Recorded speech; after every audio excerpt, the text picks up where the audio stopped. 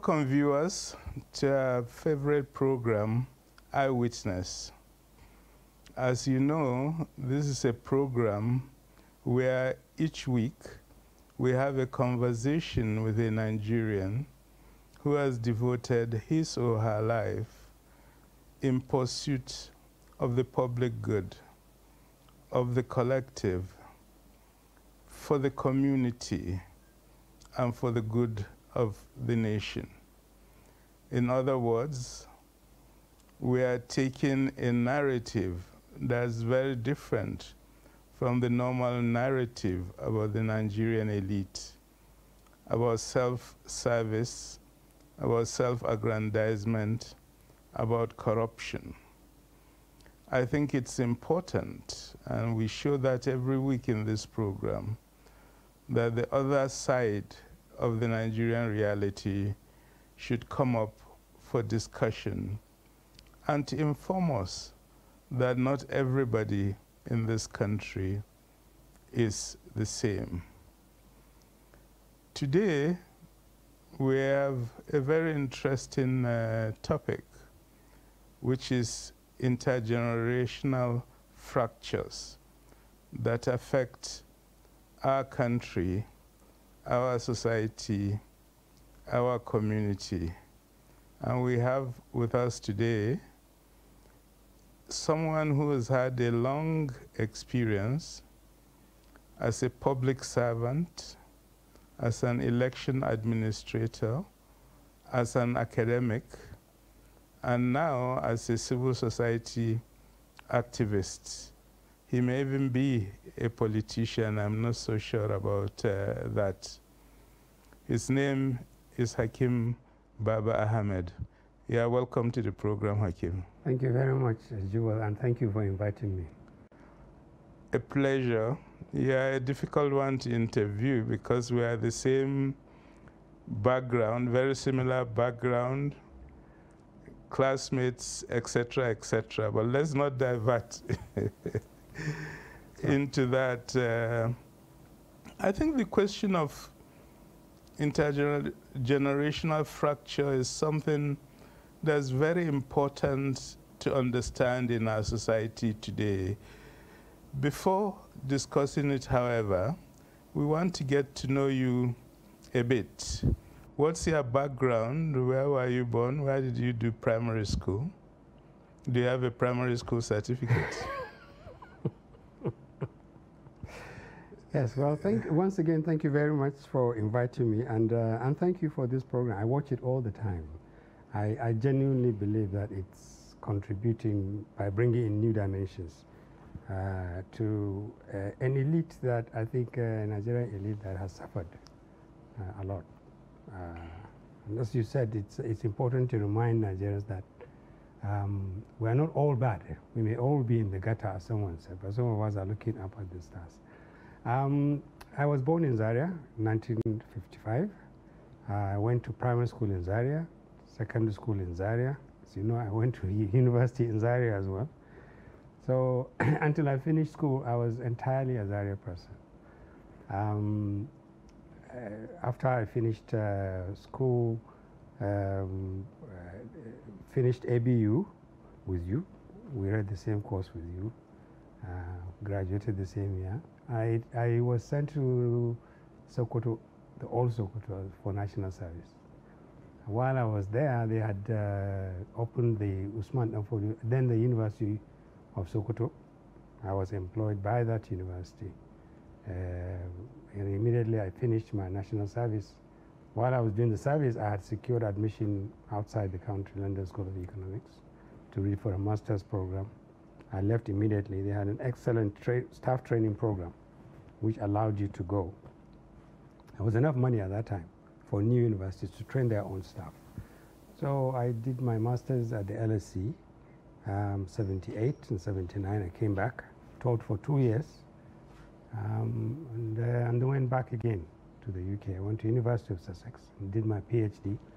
Came back 85, and uh, the rest there was just work. The studies were over. Uh, you've introduced me. I've been a public servant. Yeah. But tell us about the community you grew up in, Tudunwada. How was Tudunwada in the 50s and 60s?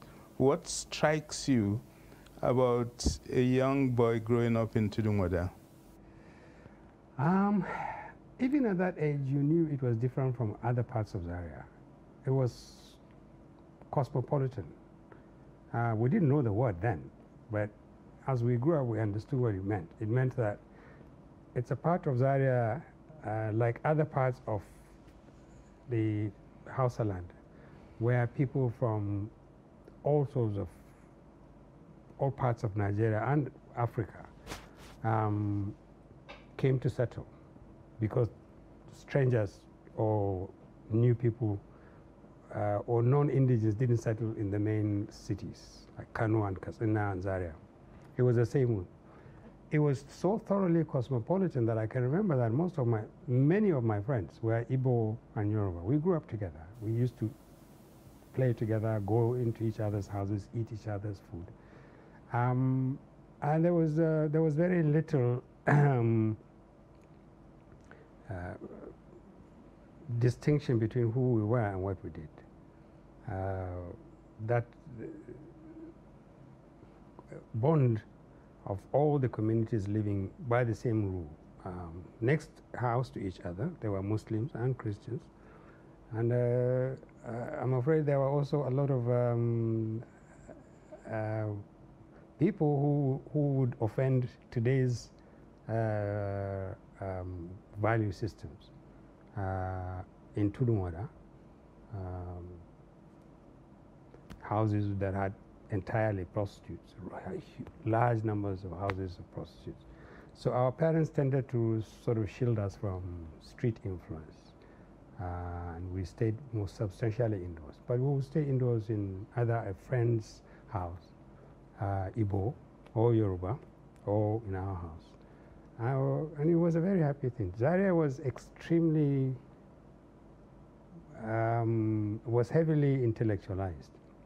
If you remember, it had uh, the Congo the population, the Barewa College influence, the Gaskiya influence, the College of Nigeria Aviation College. So Zaria was the intellectual famine, was the intellectual focus for a long time, 40s and 50s and 60s and about 70s.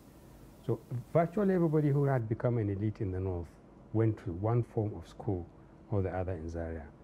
So we grew up with our father in a cycle of uh, a lot of intellectuals. You, you could tell from their discussions. It was a very happy agreement, I mean, very happy period in our lives, which was punctured by what happened in 1966. Um, the killings, some mm. of them mm. were our friends, children. Um, but we saw the dead bodies, some of the, the dead bodies of our friends on the streets. Um, and for the first time, we experienced fear, and we saw, we saw uh, the negative side of humanity, uh, anger, callousness, um, and a lot of bitterness. And I, I, it took me years to recover from the experience of those in May 1966 and November 1966. Those killings have remained etched in my mind. And to date, I tell people those experiences. Uh, I was, what, 11, 12 years old? But we knew, we saw people being killed. We saw dead bodies. And um, I went to primary school in Kofandoka and uh, we used to walk through the hospital, to Tudunwada. I'm, now Ahmadu Bello University Teaching Hospital. We used to literally walk over dead bodies for days before they were buried. And so you can imagine the trauma for a very young person. They, they had so many, they, in the end, they just dug up the ground and, and put them in. So it was a happy childhood, but I was um, raptured by, by that, that mm -hmm. experience. And it has remained part of me, and I, it will remain part of me until I die. Indeed, uh, the same with me. I grew up in Sabon Gari Kano, and we saw exactly the same thing. Let's move to your secondary school. I believe your biggest regret in life is that you didn't go to Barewa College. you went to government secondary School Zaria. How do you feel after all these years that you never made it to the good school?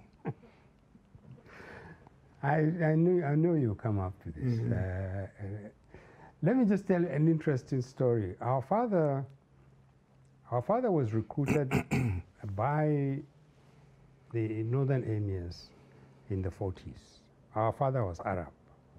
When he came to Nigeria in 1920, he made Zaria his home, and the community accepted him. Um, very welcoming. In, well, there was initial resum, resum, um, reservation about whether he would stay. They wouldn't give him wives to marry. But after a while, they realized that he was going to stay there. So he stayed there. He was a merchant and um, he did pretty well for himself. And after, I think, two or three years, they realized that he was serious about living in Zaria. So they relaxed with him.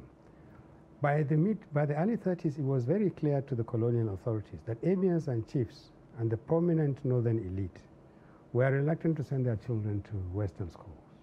They would send children of slaves or former slaves or uh, common people, give them their names, rather than send their own children, who would become emirs later.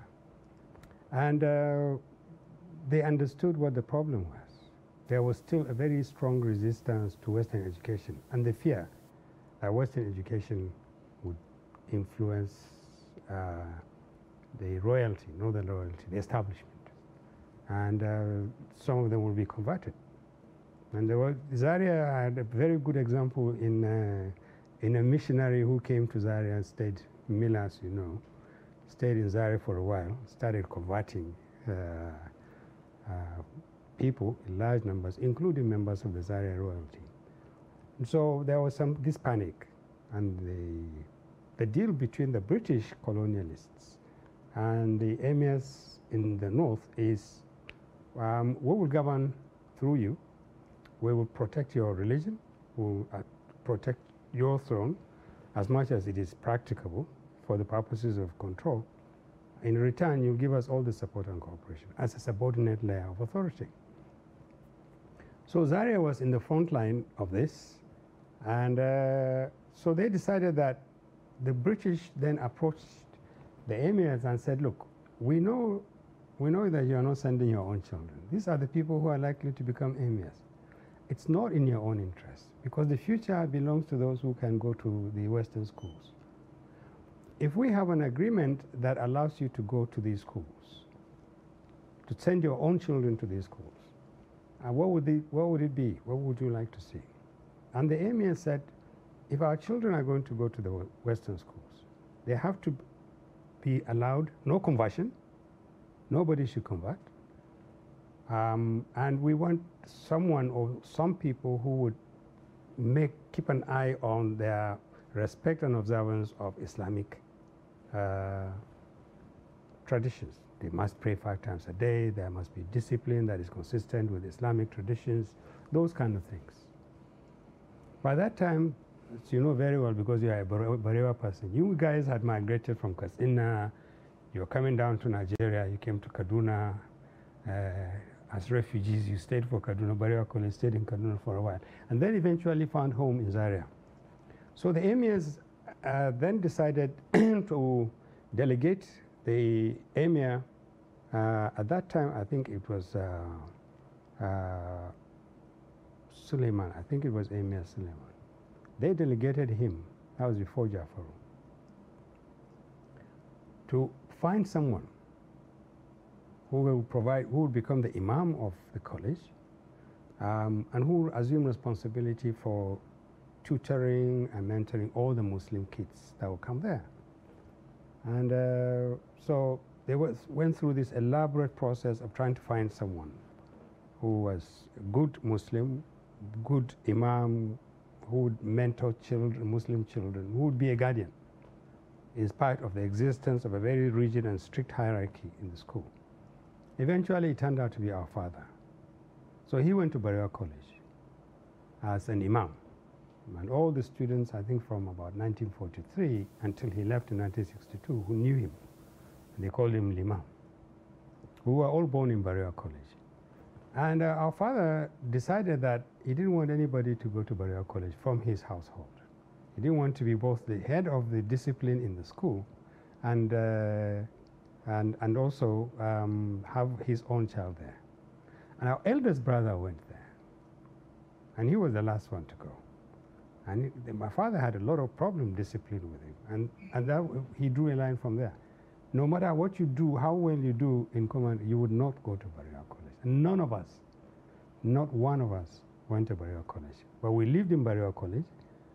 Um, we, we, um, we knew so much about Barewa College. Like I said, we were born there. We, it used to be called College at the time. So our father left there in 1963, long before you went there.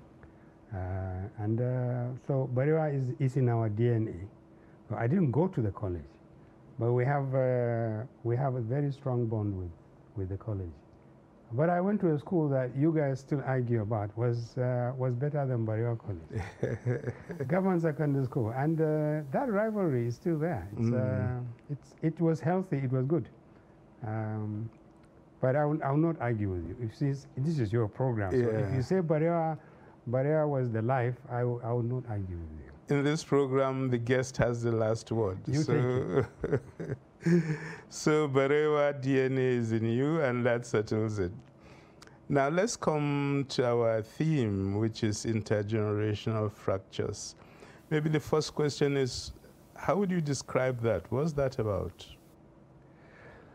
I think it's uh, it, it's it's about um, how societies um, it's the fractures refer to the failure of society to sustain the survival, the growth, survival, and development of basic values uh, and institutions that sustain and define society, both horizontally and vertically, and I'll explain this.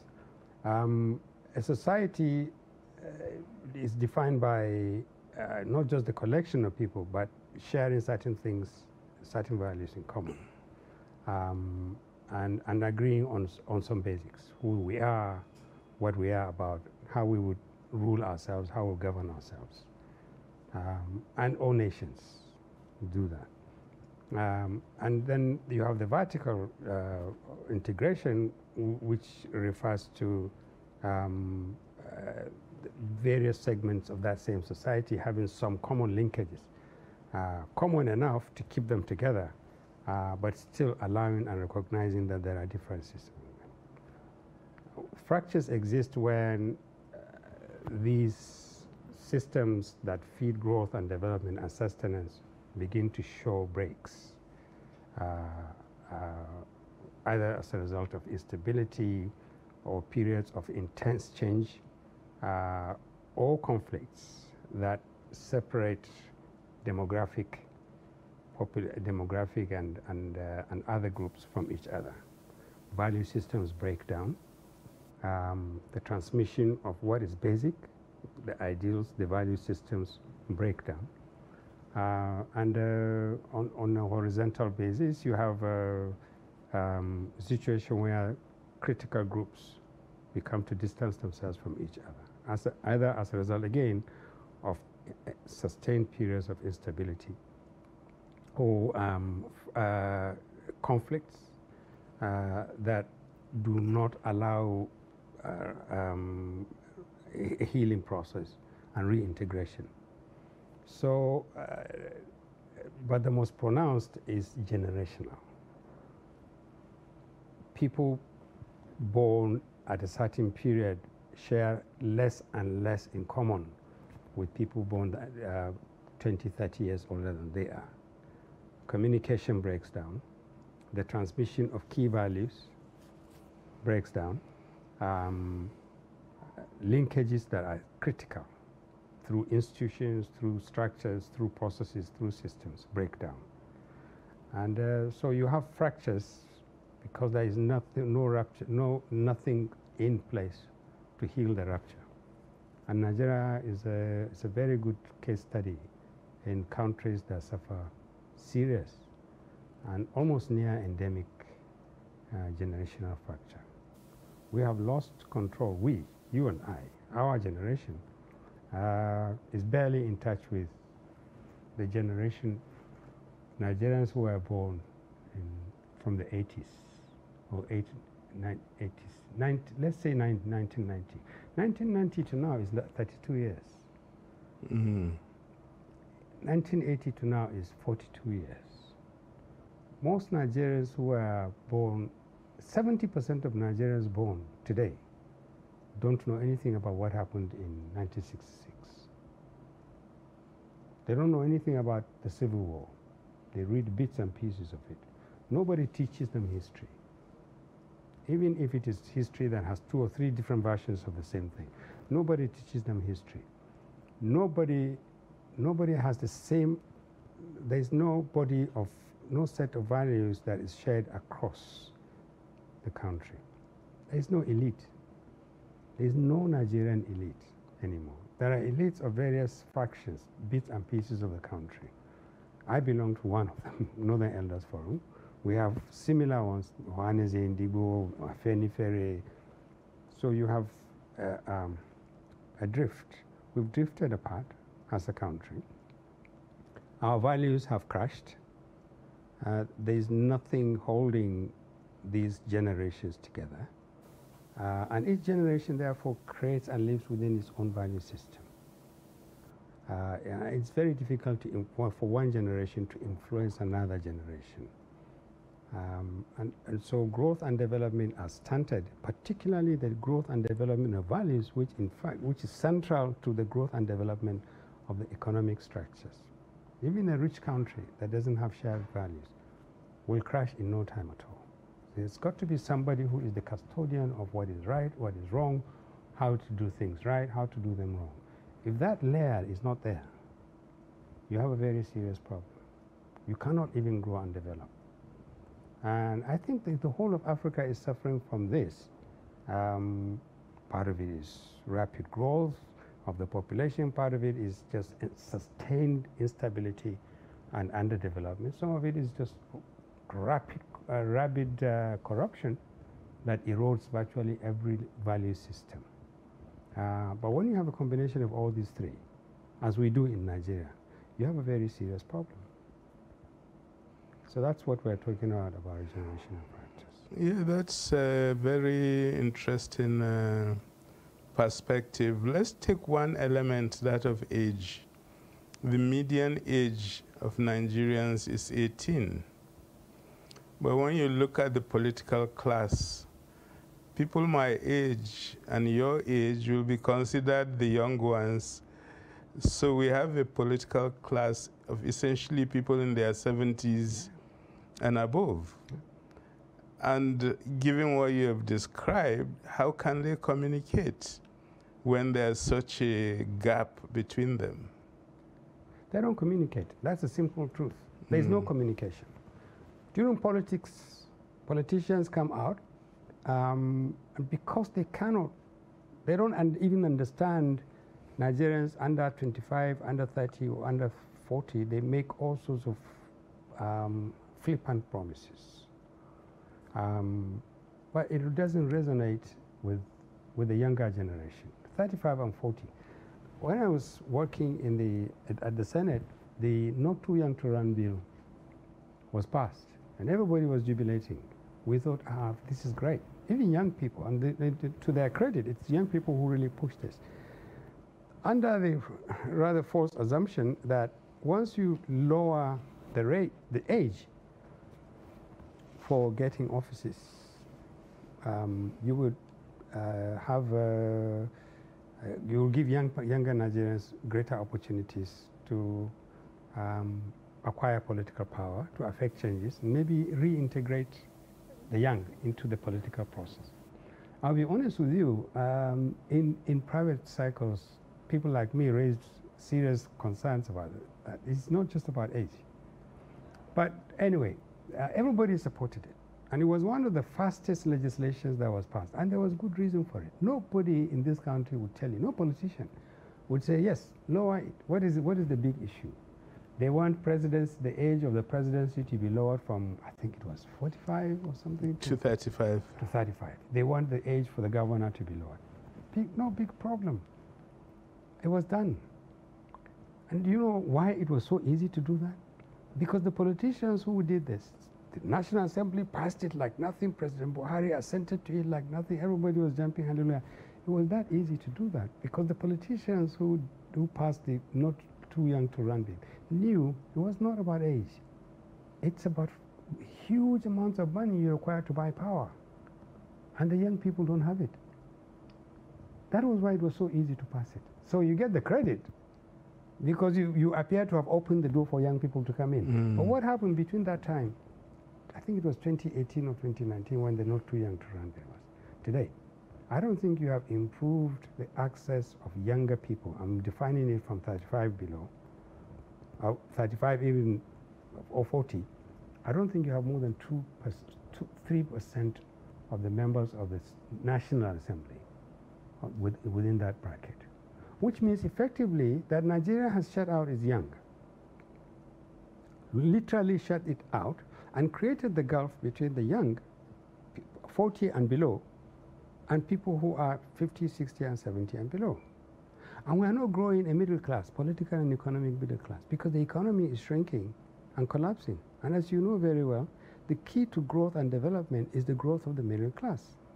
And that middle class, both in numerical terms and in demographic terms and in political terms, is central to any society that wants to retain a, a number of core values, that wants to maintain an economic process that develops and grows. And if that the middle class is shrinking, it tells you you have a very serious problem. Yeah. It means that, uh, like the book says, the center cannot hold. So the ruling class becomes the elite. And it is not supposed to be that because ruling doesn't make you an elite. And you have this rapid change. And the young keep growing, their frustrations keep growing, their anger keeps growing. They hear about a country, nobody teaches them. And so they get the um, social media version of what Nigeria was. Then okay, we'll stop at this stage because we'll take a short break. We'll be right back, uh, audience.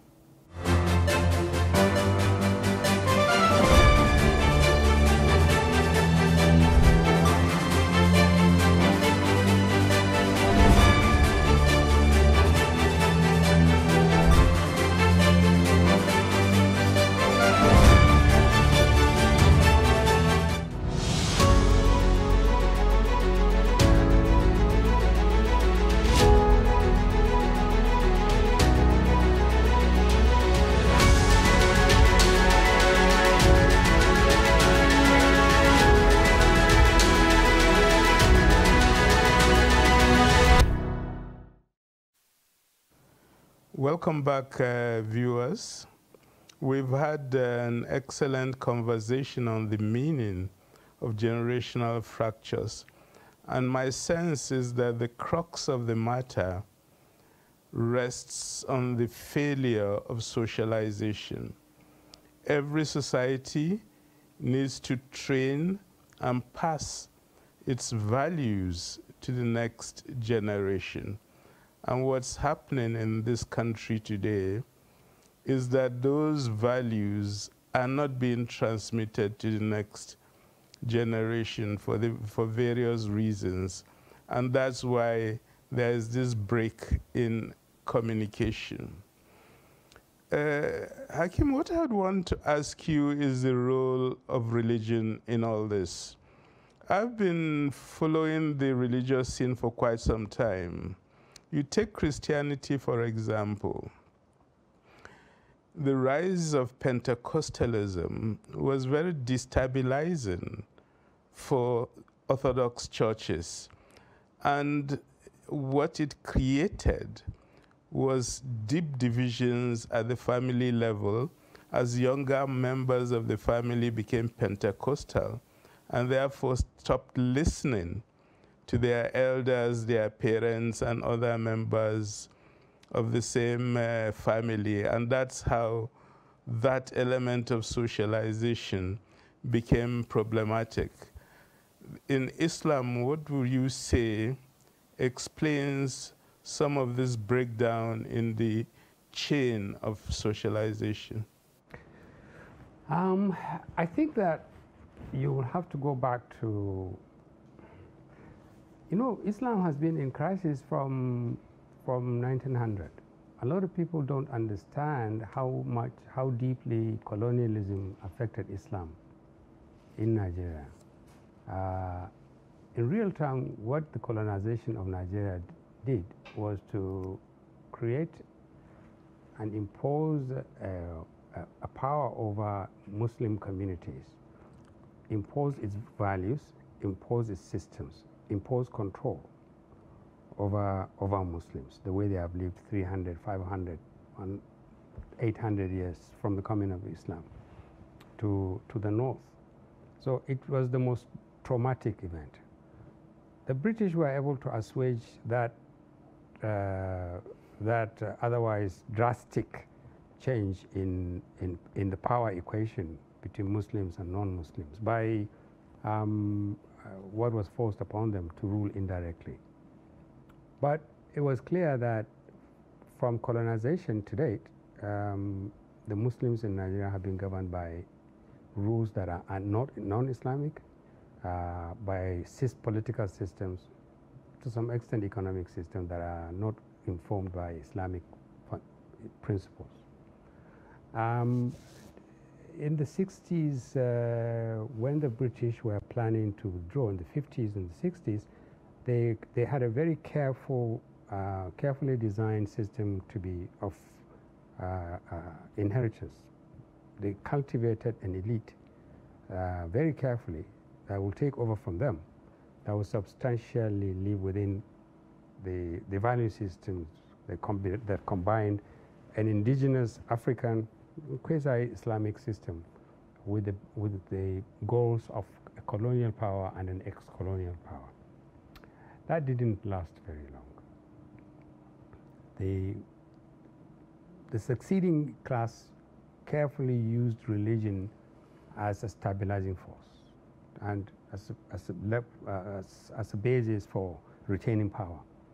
Uh, there was an opposition, um, but it's, uh, it, it, was almost an unfair fight because you, you were dealing with people who would draw, uh, inspiration and power from Usman dan Fodio against uh, uh, people who championed the cause of the peasant. So it was a bit of an unfair, unfair fight. The break, the real break that came from that was the emergence of Izala. Izala was a reformist movement which um, started uh, in the 70s. And it was the biggest rift uh, in the Muslim community in the north.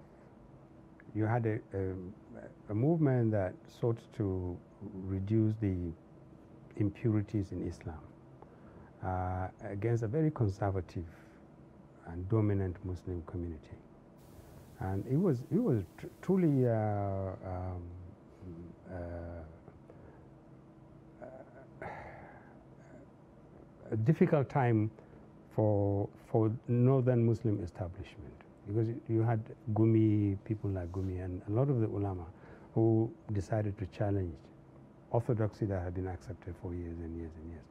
And so what it did was to now open the scope for debate, for challenging orthodox positions, for um, and it created a lot of problems, the same as it did in, in, within the Christian community, for a lot of people to to question what is right and what is wrong. You didn't have that before the emergence of uh, the Izala group, and it's still going on. Uh, but it it uh, it widened, uh, it opened up the divisions within the the Islamic community. Now, the political context in which all this was going on was informed by two things. On the one hand, you had a system, again, let me say, was not indigenous to the north, neither to the Muslim northerner or to the Christian northerner. You had a system that um, was trying to find roots, the democratic process, that equated everybody and said it was going to be one man, one vote, and people can choose who, who leads them against systems that had, they were very powerful, that had a lot of power and influence.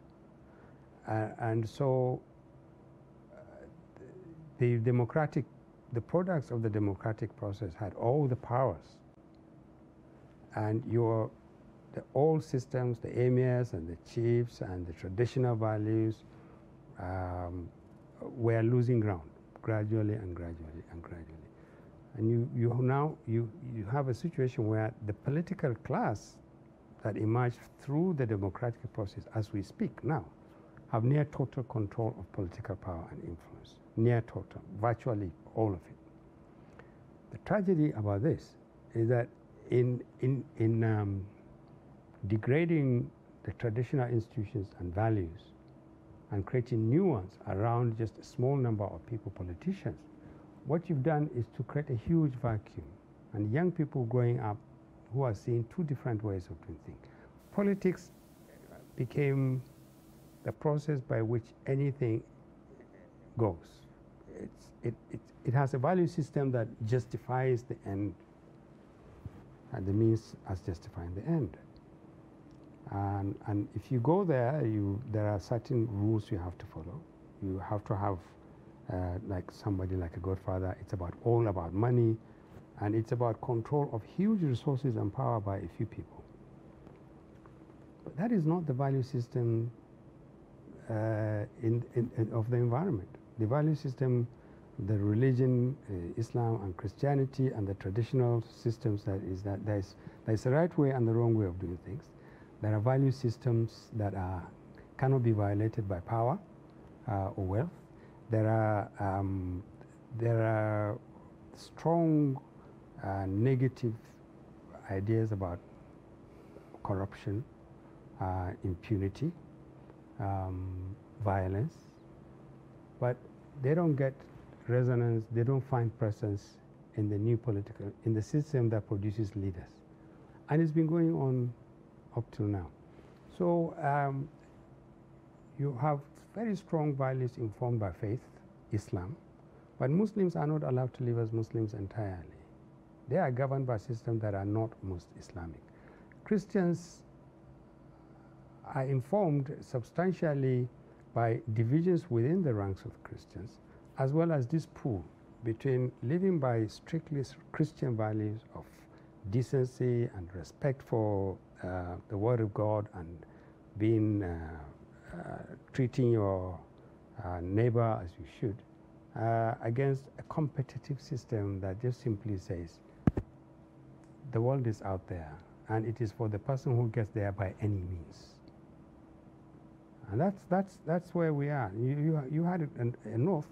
I, I suspect that in real terms, the way we lived in the 1950s is infinitely better than the way we live today. I, I, I think that in the, in the 1950s and 1940s, life had meaning. Values had meaning. People knew what was right and what was wrong. Um, now we are, we are getting to a point.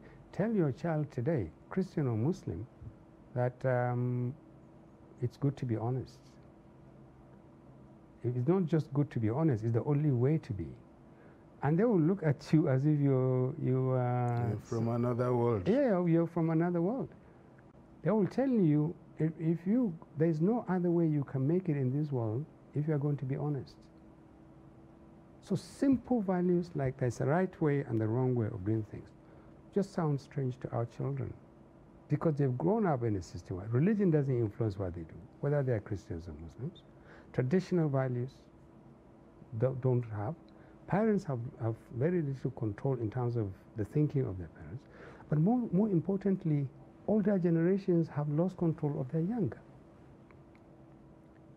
All the manifestations, all the the crimes you see in this country, most of the organized crime are stating only one thing, Jibo. The older Nigerians have lost control of their young. Otherwise, you and I know there is no way in the world that banditry and kidnapping will become such an industry in the space of five, seven, ten years. The Fulani and the Hausa Fulani have lost control of those people in the bushes. You can't talk to them, you can't control them. And it's difficult to explain how this thing has become such a phenomenon without reference to the fact that you had a fundamental failure of the value system. If injustice, injustice may be one of the reasons why you had these crimes. The Igbo have lost control over their young. Who shuts down five states on Mondays? just a group of people sit down and say nothing comes up, nothing takes place on Monday? Nothing, absolutely. If you dare come out of your house, we will deal with you, kill you, injure you, molest you. Who does this? Every community in this country has lost control over its young. This is what this generational fractures is all about. You cannot control them because they don't feel they owe you anything. They have grown up in a country that has done nothing for them by their perception, that has actually taken away from them a future, hope, uh, some aspiration, a sense that a sense of being rewarded if they are good, if they do the right thing. So they, they have created their own world. They live in their own world and they feel comfortable in their own world because your world and my world doesn't give them anything. That is the biggest tragedy, and their numbers are increasing. We are producing children like it's there is no tomorrow. The the general the, the population boom. These these young people being coming up is the most scary thing. By 2050, I don't know what this country would look like, and we are not paying attention to three things: providing education to every young Nigerian, quality education, quality education, skills and competencies you need to groom everybody from when they are 5 to 25. Well, let me just elaborate the question on education. Uh, Facebook was reminding me of an article I uh, circulated three years ago where the DG of uh, NYSC was complaining that many corpers are stark illiterates, to use his word that some of them can't even write their names. But uh, the issue for me is really what the late Ahmed Joda explained about what he called the promise of 1973, when Gowon asked all his ministers to give him one idea that will ensure that we'll never have another civil war in this country. And the response was quality primary education for every child born as of 1970. That's the end of the Civil War. Mm -hmm. And that governments should undertake to keep that promise. Of course, when defining the fracture, you drew attention to the horizontal and the vertical level. At the horizontal, here in the northeast and in the northwest, we have extremely low levels of access to education and of any type. In the rest of the country, there's more access, but of course the quality of the education is going down. So how do you weave in this question of the collapse of quality education into these generational fractures? You have to understand it in the context of an elite that has betrayed uh, its people. An elite is, is relevant only to the degree that it leads somebody. It's an elite of some people. What the military did substantially, they removed the elite that they met in power, political and social and cultural elite. They represented the, the new elite. Um, but unfortunately, they were a transient elite. They didn't know anything about governance. They didn't know anything about sustaining values. They just governed and needed order and stability. And they, want, they did a few things while they were in power. When they were leaving, there was no opportunity for them to create an elite. They allowed the politicians to become the elite because there was no, no elite below. This elite in the, in the, from the 70s that, that, that began to become depleted, look, you have the compulsory free and compulsory free education, compulsory. Yeah. It means you Universal. don't have a choice. Universal education. It means you don't have a choice. Your child, whether you are a Muslim from Borno or a Christian from Abia, your child must go to school. The corollary to that is that the state must provide teachers, the schools, the facilities, and everything, and the opportunity, including free education. That elite never enforced. It's a law. It's an act which has been repeated over and over and over in different ways. How can you explain in the context of that that we have 15 million children out of school? How is it possible with the introduction of free, when we were going to school, you and I, you could count the number of non-government schools, primary and secondary school, on your fingertips, and there will be mission schools. We didn't have private primary schools. It's not that intrinsically there's nothing wrong with private education, but the moment private education was allowed to exist, the elite just simply then removed their children from government schools and sent them to private schools. And teachers employed by government with government money to teach children of the poor in government schools were now being employed or borrowed or paid by uh, proprietors, proprietors of private schools to go and teach children of the rich and the powerful, the elite. And that's really where the collapse started.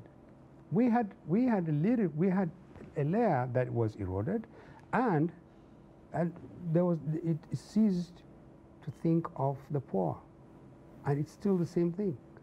The most important thing is still what was in 73 is still, if you want stability to be, to, to be restored in this country, you must agree to fund education. Fund it realistically. If, you, if the government cannot pay this free tuition, free tuition thing that we're talking about, find another way in which children of the poor can find a way to get educated even if you have to give them loans. Because clearly, the idea that you can give every Nigerian child free education up to university, first is fiction, because even as we speak, it's, it's they pay a lot of money for that. Yeah. And two, um, it, it, it's not sustainable. And there's nothing wrong in saying that. We need to come to terms with the fact that free university or tertiary education is not sustainable three, if, if, the elite again needs to recommit. If you don't train the child of the poor to get good quality education, to get skills and competencies, you will never have a stable country because the huge numbers of the uneducated children who have no hope, no place in a society that is moving on with skills and competencies cannot fit. And these are the people who become robbers and kidnappers and bandits and, and uh, and, and urban, urban violence. These are the people. And this, this phenomenon is going to continue to increase. So education in 73 was the most important advice they could have given Gowon, and it is still the most important one. And education, quality education, is the key to healing these generational fractures. Quality education, you must find a way. And to do that, it's not an easy thing. Look at where we are now. Five months, six months, our universities have been closed. You have an unthinking government that believes that this is, uh, this is the, uh, it didn't start with us and it will not finish with us. They don't want to, to, to accept accommodation. Let them go. And uh, an incompetent as leadership that thinks the only way is to continue to knock on the door. Whether it opens or not, just keep knocking on the door. Lock out your children and the children of the poor. You need to break this circle.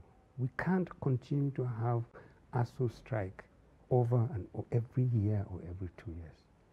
Because it's the children of the poor that suffer. The children of the rich don't even study in this country. Or if they have to study in this country, they send their children to very expensive private school, universities. The child of the poor is out there. So once, if you don't address education from primary school to secondary school, and you need innovative policies, you take the why, why won't you give the Almajiri food? You are giving children in primary schools one meal a day using public funds. Go to the Almajiri, go to the Malam, ask him to, to agree to, to keep the children in, in, in his, wherever it is that they do the Islamic thing. Give them one whole meal a day too, in place of this roaming around and, and begging on the street. And in those three hours, you would also teach them a few things that they can do. They are Nigerian. If you're worried about all these children roaming around, keep them in one place.